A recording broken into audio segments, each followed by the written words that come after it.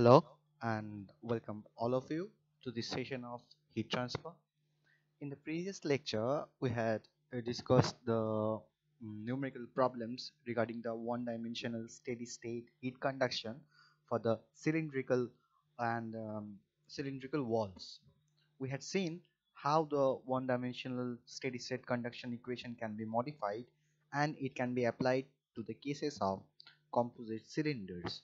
So today we will uh, carry forward our discussion on the same objective. But today uh, this equation this basic general conduction equation will be applied to the spherical surfaces. And let us see how does this equation can be modified and it can be generated. Okay so let us see that. Now here you can see see the diagram of a sphere so I will write the general conduction equation in spherical coordinates and then we will move on with the discussion. So um, let us consider steady state heat conduction through a sphere which has a inner radius of r1 and it has a outer radius of r2 okay the inner surface or the inner radius is maintained at a temperature T1 and the outer surface is maintained at a temperature T2. Now, uh, as, as per the geometrical symmetry which lies in the cases of spheres, we can understand that it is only radial heat transfer going on for the cases of spherical walls when we are considering one dimensional heat conduction only. Okay, since we are only considering or only bothered about one dimensional heat conduction we can understand the uh, these terms like this one and this one.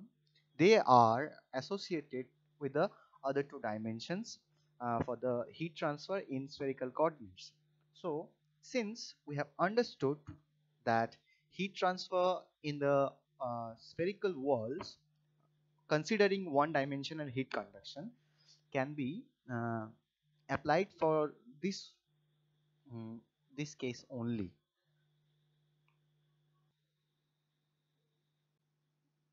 So uh, we must have understood that since we are only bothered about the heat transfer uh, in the radial direction we can neglect these two terms because these two terms provides us the information about the heat transfer or the temperature distribution along the two other dimensions which uh, we don't need presently because we are only bothered about one dimensional steady uh, heat conduction problem. And this heat conduction is taking along the radial surface or the radial direction. So we will be uh, much more uh, we'll be concentrating on this factor because this is our term because this term refers the heat transfer in the radial direction. And we can neglect these two terms. So we can just erase these two terms because they are not going to provide any help here. Okay so removing these two terms we can understand. Now we can see that this is the term which provides us the information about the conduction heat transfer in the radial direction only now, you know that we are dealing with the problems where we have assumed it is a steady state heat conduction. So we have uh, discussed uh, many times that in case of steady state, this del T becomes 0 because in case of steady state, the thermodynamic properties remains unchanged according to the time. Okay, so this del T turns to 0 so that this term would become 0. So ultimately this term can be rewritten as 0 and you know that we have already assumed that there is no internal heat generation taking place. So this is your volumetric uh, internal heat generation or thermal energy generation to be more specific. So we can replace this term by 0 since since there is no internal thermal energy generation. Okay so the equation turns into this. Okay now we can remove this term.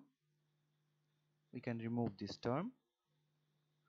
And uh, therefore we can move on uh, move on with the calculations. Now physically we can draw uh, we can assume a strip of a strip of uh, spherical surface which has a thickness of dr and from the center it has a radial distance of r. So physically this is the condition which uh, by which we can explain this equation. Okay. So this equation refers to the heat transfer in the spherical surfaces when we have assumed uh, this this heat transfer is taking place from a certain uh, from the center point of the sphere up to a certain distance r. Okay. And the temperature maintained along this strip of this sphere is t. Okay. So therefore we can move on along with this calculation. So if we um, integrate on both sides we will get r square delta t dr is equal to the constant. Okay. This is simple integration. So it will give you um, c1 as the first constant okay now uh, we can do the simple calculations by rewriting it in this way and we can take it this term here. Okay before that um, I would like to inform you that I would like to mention that now the terms which were expressed in the partial derivative format now it can be expressed in the regular derivative format. Okay so it can be rewritten as dt dr so I must uh, tell you that this this uh, step should have been done earlier uh, uh, before doing the integration. So initially what you have to do you have to rewrite this equation. So let me do it once so that it will clear the concept perfectly. So after understanding this equation you need to rewrite this equation in the regular de derivative format. Okay so i am just rewriting it and we find that it it gives us this equation. Okay now we can do the initial integration and it will give r square dt dr as your constant so this is your integrating constant and it is c1 okay. Now uh, we would like to rewrite this equation. So we can change the terms and it will become c1 by r square. We can also uh, take this dr here so that it would become c1 by r square into dr. Okay. So it would be dr now we will integrate in both the sides and you will find t can be represented as minus c1 by r. You know this is very simple integration. It will be minus c1 by r plus the second integrating constant which is c2 now we need to imply the boundary conditions so at at radius r equal to r1 what do you get? You get that the temperature is mentioned as T1 and at R equal to R2 that means we are dealing with the outer radius now. The temperature is predefined as or pre-assumed as T2 now we need to solve some simple equations and after solving the equations we will get the values of these these two constants. So it will give us c1 c1 can be so just uh, give me some time and i will rewrite the equation. That means i will rewrite the constants. So this is a very uh, simple problem. That means you need to just put uh, t1 equal to minus c1 by r1 plus c2 t2 equal to minus c1 by r2 plus c2 then you need to solve this equation. And after that you can find the values of c1 and c2 so doing this process I am just uh, going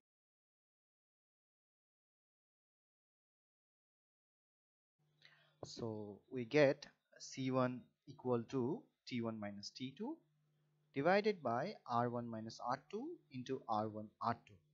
C2 is equal to T1 plus T1 minus T2 divided by R1 minus R2 into R1 R2. So we know this is our fundamental temperature distribution equation.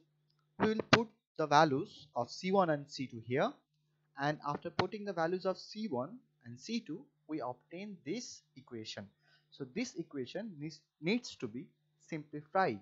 Okay, so I am just clearing this up uh, now after clearing. So let us deal with this equation. So now you can see that this can be written as t equal to t1 plus I would like to take this term as common. Simple mathematics here. t1 minus t2 divided by r1 minus r2 r1 r2 okay I am taking this part as the common and it will be okay sorry I have uh, I have missed a r1 here. So please check it here. I have missed a r1 there. So after getting this we will simply write this 1 by r1 minus 1 by r. Now I would intend to transfer this equation into a dimensionless form okay so how we can do, do this? We'll simply write t minus t1 so t minus t1 leaves with this term and we can divide this whole equation by this term. So now here on the left side on the left side you can see all the terms are regarding the temperature. That means it is a dimensionless format. So this this term doesn't have any units.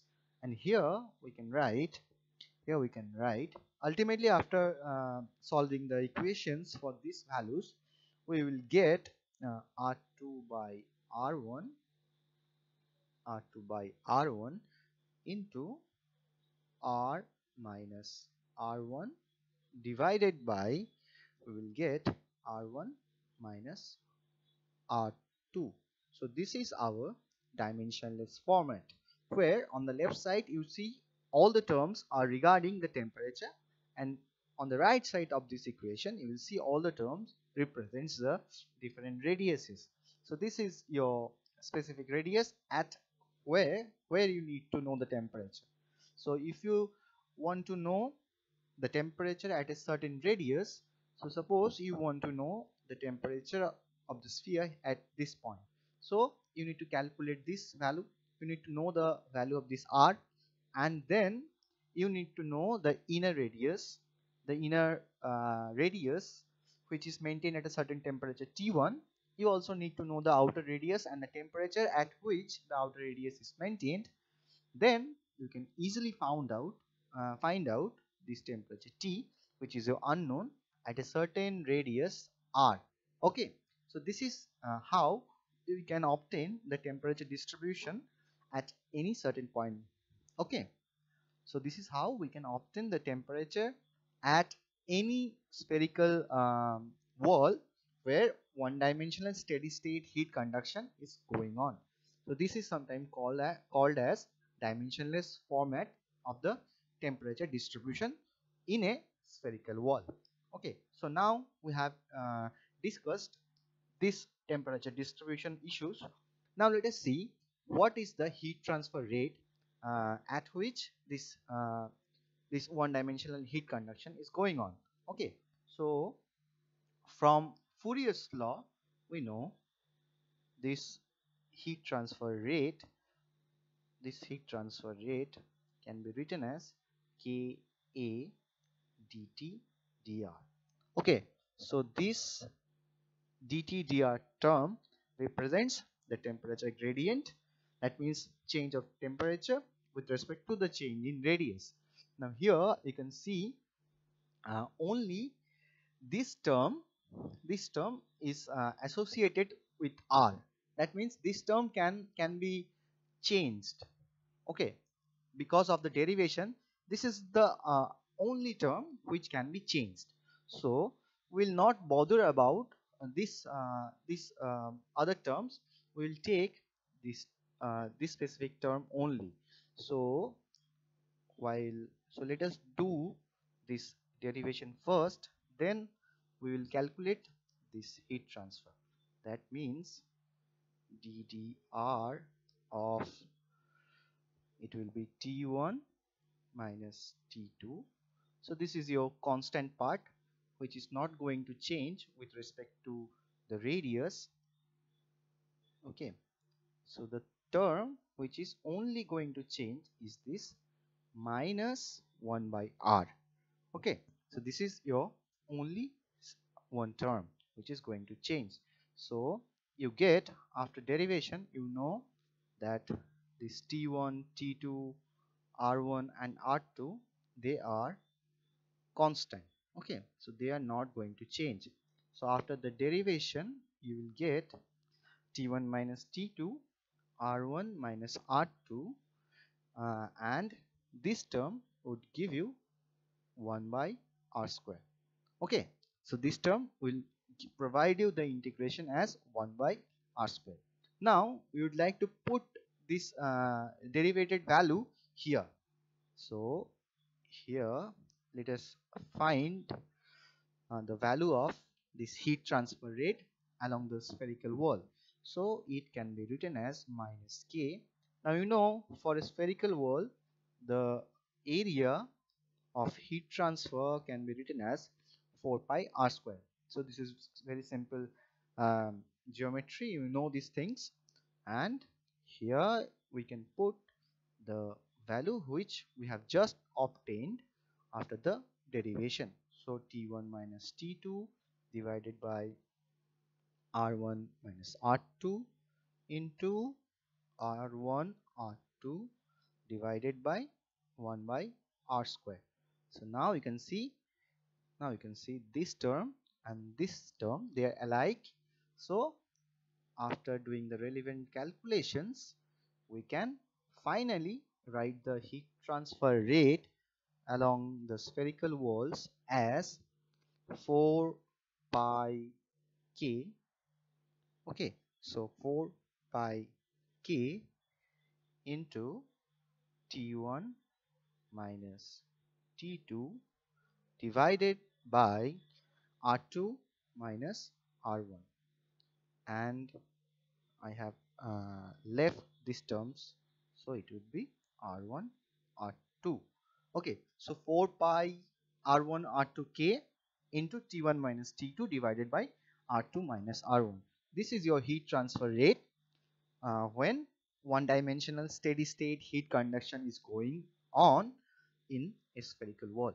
Now you know from the concept of thermal resistance which we have applied so many times for the cases of plane walls and cylinders you know what is the concept of thermal resistance. So i am not going uh, into that discussion i will just simply rewrite the terms in the format of uh, thermal resistance. Okay so you can write this equation r2 minus r1 divided by 4 pi. This is your 4 pi r1 r2 k.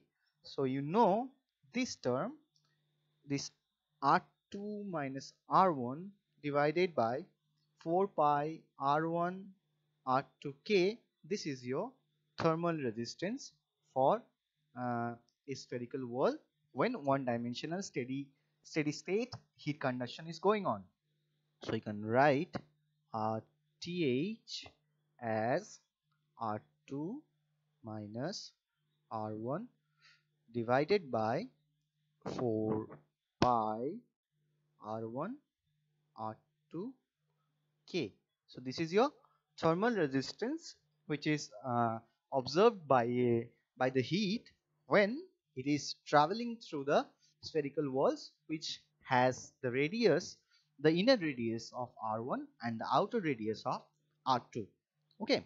So this information would be very important. You understand when we will be dealing with the composite spherical walls. This this term plays so this term plays uh, a very important role. Okay.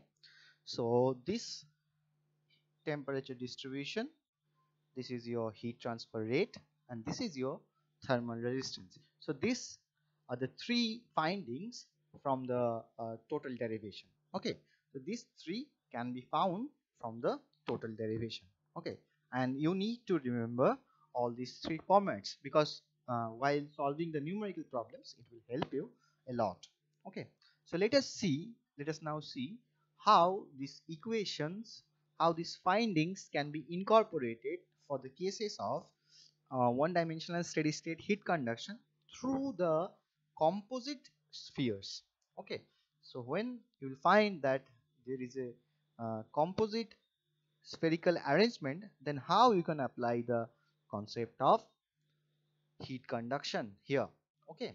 So this is our primary objective now.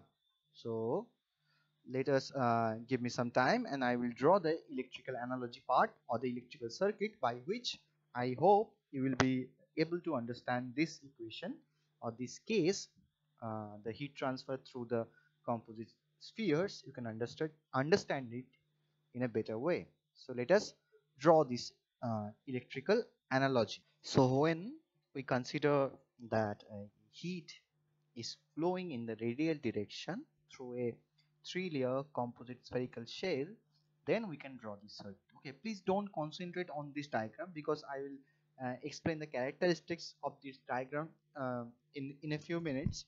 But let us uh, just hear this. Okay so when heat so let us consider that heat is flowing through the spheres which has a three layer uh, three layers. Okay the composite sphere has three separate layers. That means three three specific materials have been included in this composite sphere. Now for that for that case we need to draw an electrical circuit like this. And you know that the summation of the thermal resistances can be written as uh, uh, R1 plus R2 plus R3 so we are dealing with the conduction resistances only. Okay. So this is a hypothetical case. It is not regarding to this uh, diagram. Okay. Now you know we have uh, just now derived this r1 can be written as we have already derived this formula just a uh, few minutes ago and we can write 4 pi k1 so you need to remember this this uh, form. Okay. So it will be r2 minus r1 and in case of the resistance r2 it will be r3 minus r2 divided by 4 pi k2 so we are talking about a separate material here uh, here which has been composed. Okay so it will be uh, r2 r3 so just remember this format and then you can uh, go on writing the formula. Okay so it is basically a repetition just uh, but the terms are going on changing. Okay so it is very simple. If you remember the uh, format of this formula then it will be very simple to write when um, when you need to solve the problems. Okay so it will be r3 r4 okay so this is your net resistance. Okay now what happens here in this diagram? Here you can see there is a uh, heat transfer by convection going on through the spheres. Now in the inner inner sphere you can see uh, hot fluid is there and in the outer case a cold fluid air is present. So heat is tra transferring between this hot fluid and this cold fluid. Okay. So here in this case you also need to consider the convective resistances. Okay. Now you know this formula. Q is equal to h into a into delta t. Now for spherical surfaces you know this area would be written as 4 pi r square. Okay so let us consider this case and we can write this q uh, we are dealing for the convection case mind it. So for the inner inner uh, sphere we can write this equation. Hi refers to the convective heat transfer coefficient at the inner sphere. The area would be 4 pi r1 square. Okay and just write the temperature difference as delta t. So now it can be written as delta t divided by h i 4 pi r i square. Now this is your this 1 by uh, this uh, 1 by hi into 4 pi r i square refers to the convective resistance. So, so this this term this convective resistance term now needs to be added along with this. Okay so you can see uh, we are obviously talking about a three layered composite sphere where at the inner surface there is a hot fluid and at the outer surface there is a cold fluid okay so convection is going on uh, from the uh, hot fluid to the inner surface of the sphere and convection is going on between the outer outermost um, layer of the sphere and between the cold fluid. Here it is mentioned as air. Okay i hope you are getting my point. So here you need to add this rci that means resistance because of convection at the inner uh, innermost layer. And here you need to add up this convective resistance because of the convection heat transfer between the outermost layer of the sphere and the cold fluid.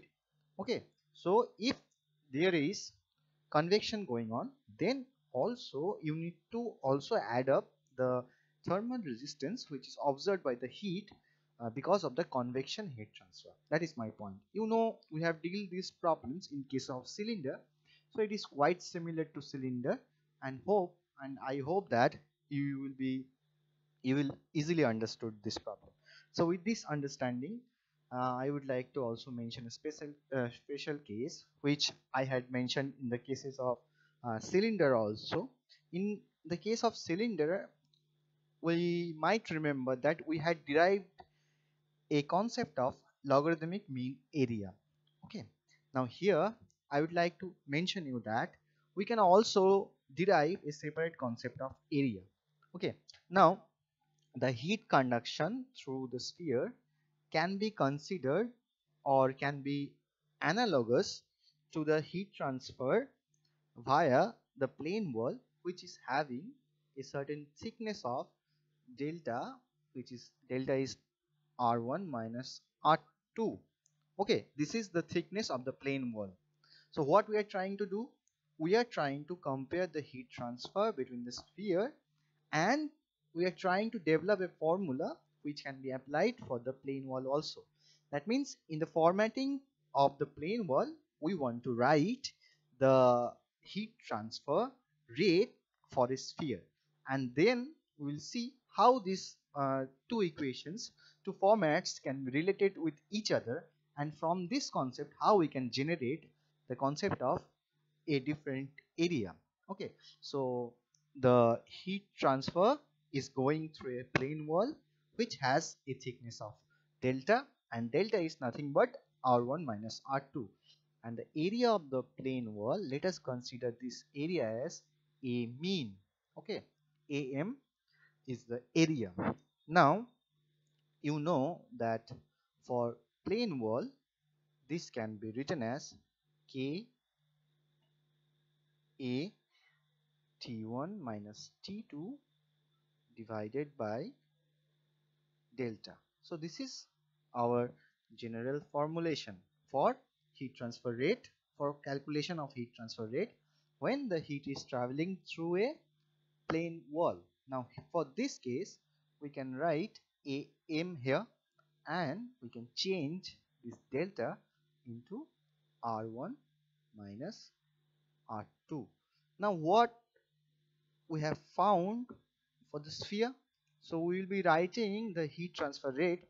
So the heat transfer rate for a sphere it can be written as 4 pi k r1 r2 into t1 minus t2 divided by r1 r2 so what is our motive here? We need to find a relationship between the heat transfer rates for the sphere and the plane wall when we have considered that this plane wall has a thickness of r1 minus r2 and it has a mean area of am now considering these two heat transfer rates or uh, equaling these two heat transfer rates we can understand that this mean area can be written as 4 pi r1 r2 so it is pretty simple mathematics here.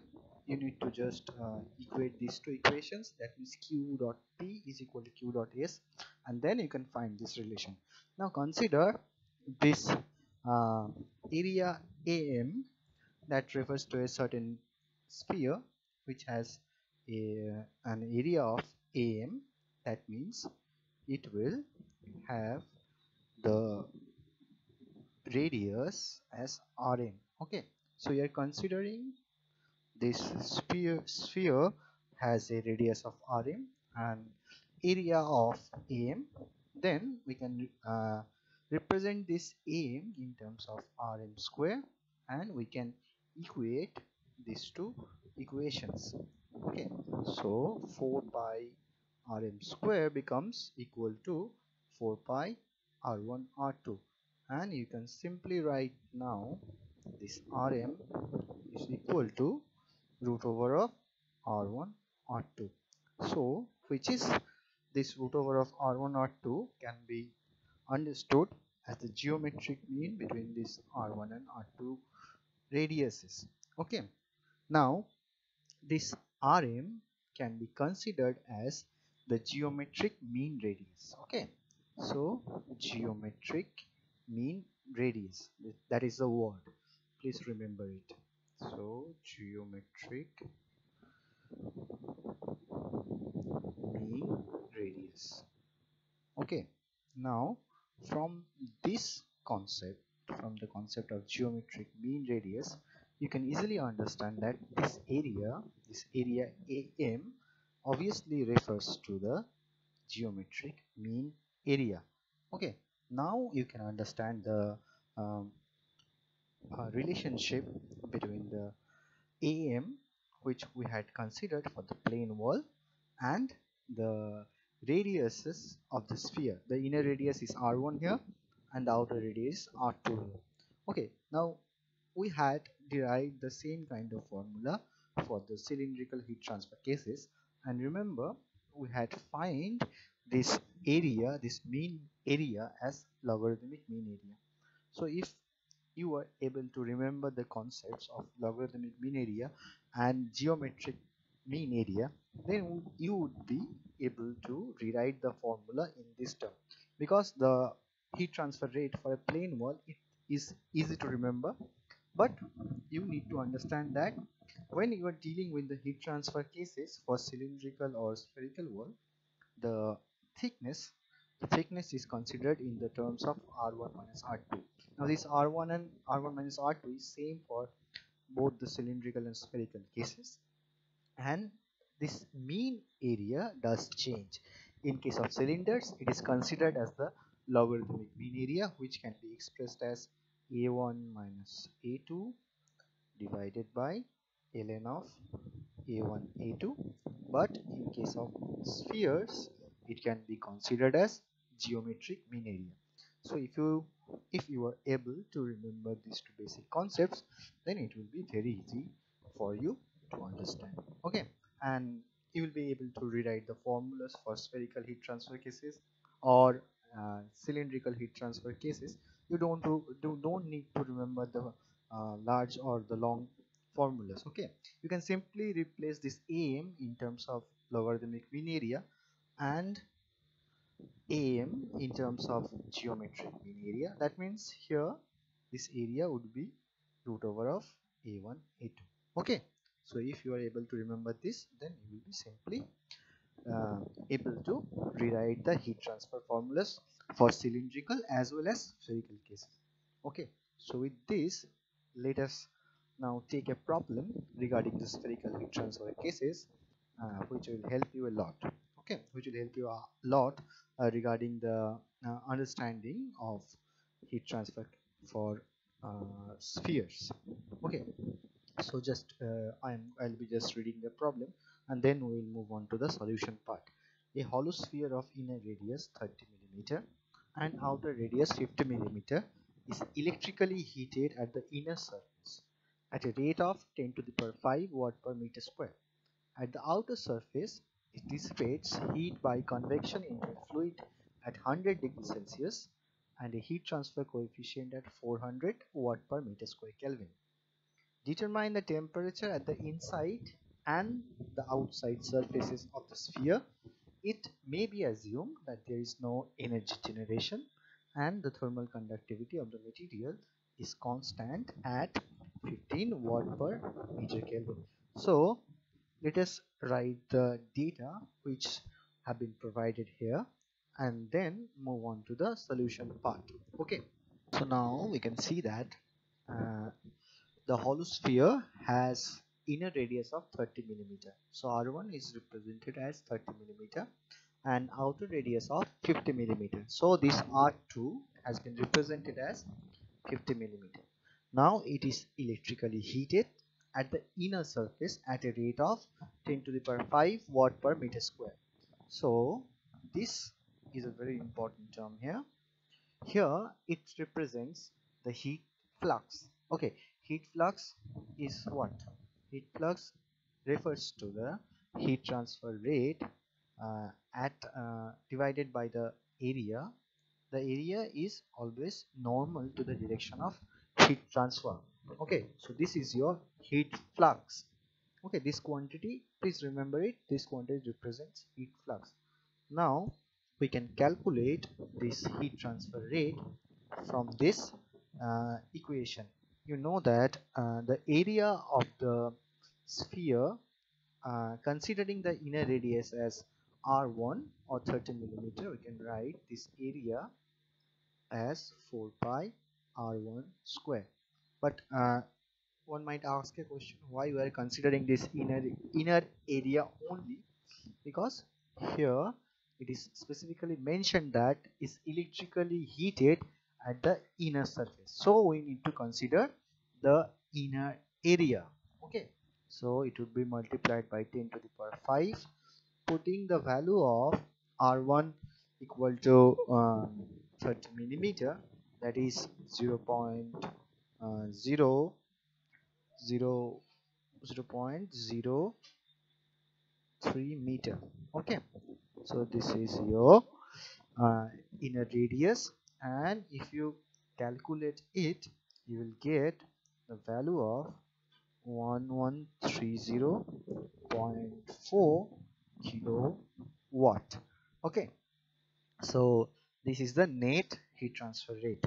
Okay. Now if you remember the basic idea of heat transfer when it is compared to the terms of electrical uh, electrical energy transfer then we can write this q is the temperature difference. That means we can write T1 minus TO now one might ask a question from where this TO have been evolved? Okay this would be R1 only and this will be R2 okay so so let me explain how I have drawn this electrical circuit. So here you can see this inner inner surface has been heated by electrical energy.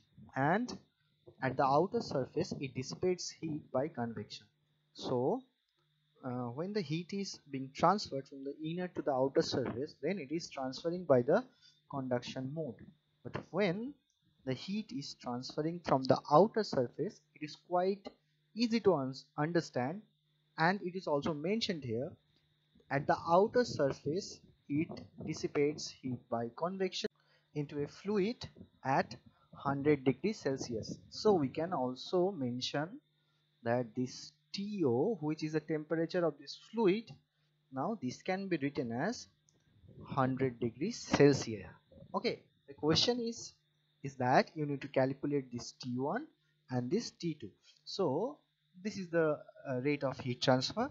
Now this one this R1 represents the conduction resistance. Okay so the thermal resistance because of the conduction heat transfer and this R2 refers to the convection resistance. So this convection is taking place between the outer surface and the fluid which is at 100 degrees Celsius. So here because of the two modes of heat transfer we need to uh, we need to consider two different thermal resistances. Okay so we can write this q dot is equal to T1 minus TO divided by R1 minus R1 plus R2. Again, we can also consider that for this case, we can write T2 minus TO divided by R2 and remember that we are considering the convection heat transfer only here. Since the same heat is being traveling through this uh, sphere this hollow sphere then the heat transfer the magnitude of heat transfer remains same. So according to the principles of heat transfer and its analogy with the electrical circuits we can simply write this. Now we have already found this value. We know this q dot which is uh, 1130.4 kilowatts.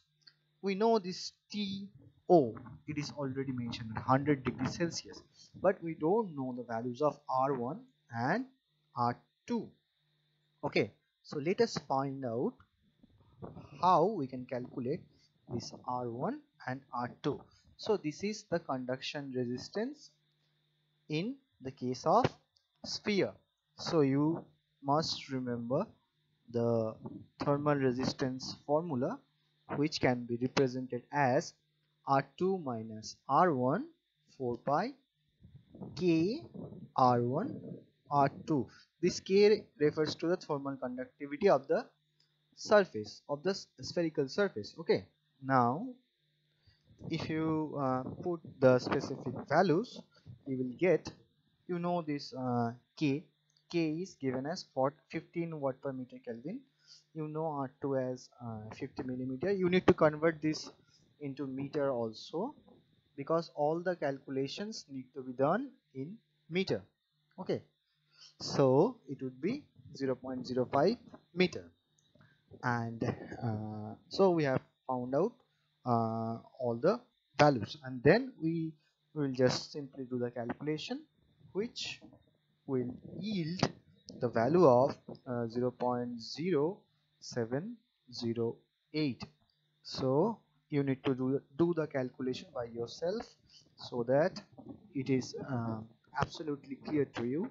And now moving on to the second resistance. This is because of the convection heat transfer between the outer surface of the sphere and the fluid which is at uh, 100 degrees celsius and if you remember it can be represented as 1 by 4 pi.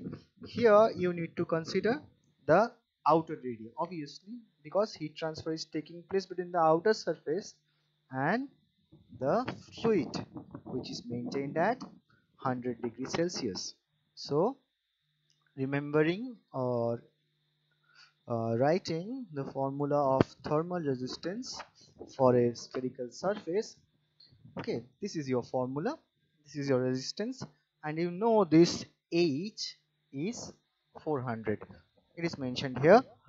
It dissipates heat by convection into fluid at 100 degrees celsius and the heat transfer coefficient at 400 watt per meter square kelvin. So this h is nothing but so let us write here h is 400 watt per meter square kelvin. Okay. So putting the uh, specific values we will get this convective resistance as 0.0796 okay it would be 0.0796 kelvin per watt so now we have found out all the resistances. Since there were only two different resistances now we have calculated the conductive and the convective resistance. Now we would like to imply this formula okay? So let uh, let me clear this because we will not require this. So equating this equation this q dot what is this q dot we have found out this q dot is 1130.4 now we know this uh, t1 t1 is our unknown here and we know this to which is 100 it is already mentioned. I have just i have just cleared this uh, details here the, but you can find it from the uh, from the previous frames you can easily find it that this TO has been mentioned at 100 degrees Celsius. And you know this R1 as 0.708 and R2 as 0.0796 so if you add it up you will get 0.1504 okay this is the net thermal resistance. So now you simply need to do a very easy algebraic calculation that is multiplying these two and adding this with 100 which will give you the result of uh, 270 degrees celsius. Okay. So now we have found out uh, we have uh, found out the temperature at which the inner sphere or the inner radius of the sphere has been maintained at okay so the t1 refers to 270 degrees celsius. Similarly similarly we can write this equation. That means it would be um, so i am just clearing it clearing it okay. So here here it would be t2 we are referring to this equation mind it. T2 minus to divided by r2 is equal to q dot. So t2 would be but here we need to change this resistance because we have to keep in mind that in this case we have to consider the convective resistance only. So the, this t2 uh, here it would be represented as 0 0.0796 okay 0 0.0796 so this 0 0.0796 is your convective resistance which we have already calculated.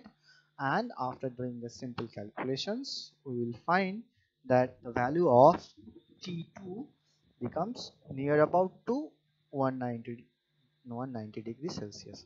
So thus we can calculate the temperatures of the inner sphere and the outer sphere at which uh, it is maintained. Okay so this is a basic way. So you need to understand the modes of heat transfer which is going on and you need to consider the thermal resistances because of this heat transfer.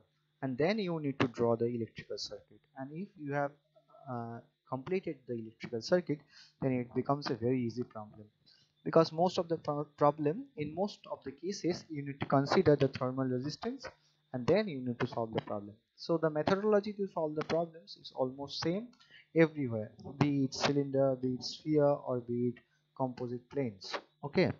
So it is almost same. So with that uh, let us uh, give you some problems for assignment. So i will show you the assignments and uh, we will end our lecture here. So in the next session we will discuss the topics of critical radius of insulation. So till that uh, goodbye. Thank you all for uh, participating in this lecture for hearing this lecture out. Okay goodbye